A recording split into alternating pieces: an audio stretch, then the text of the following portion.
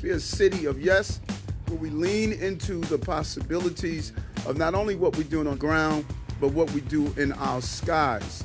We are going to establish the world's first heliport, and we're going to reimagine the assets as a new hub for sustainable transportation.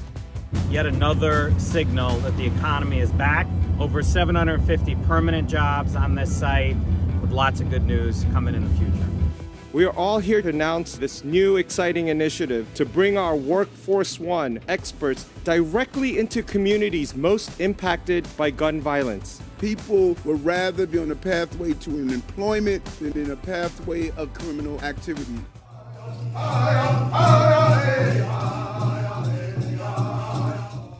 Beginning today, all New York City teenagers can talk text, or make video calls to licensed therapists for free. It's an investment in our teenagers so that they can be the happiest and the healthiest that they can be.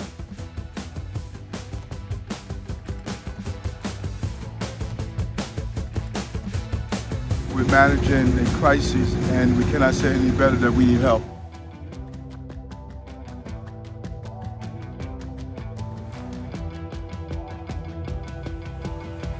Sparks Kipe is a first of its kind job and education hub for growing the health sector. It will create more than 15,000 jobs, over $42 billion in economic impact, and lead to new discoveries that will save lives.